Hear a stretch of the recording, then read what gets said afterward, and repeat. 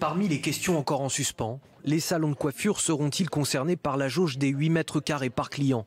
C'est en tout cas la règle fixée pour tous les commerces non essentiels qui rouvriront leurs portes samedi prochain. Mais les coiffeurs l'assurent, une telle contrainte signifierait la mort de leur profession. Colère également du côté de la conférence des évêques de France qui dénonce la limitation des messes à 30 personnes. Le gouvernement devrait là aussi revoir sa copie et annoncer sa décision. Autre point d'interrogation, la réouverture des bars, mais aussi des discothèques, fermées depuis maintenant 9 mois. Pour l'heure, seul le retour à l'activité des restaurants et des salles de sport est évoqué à partir du 20 janvier. Et qu'en est-il des auto-écoles et des agences immobilières? Bruno Le Maire, le ministre de l'économie, se dit favorable à une réouverture le plus tôt possible. Les derniers arbitrages devaient avoir lieu ce mercredi entre Bercy et Matignon.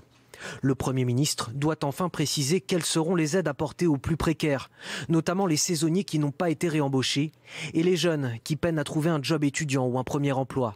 Mardi soir, le chef de l'État leur a promis une réponse exceptionnelle.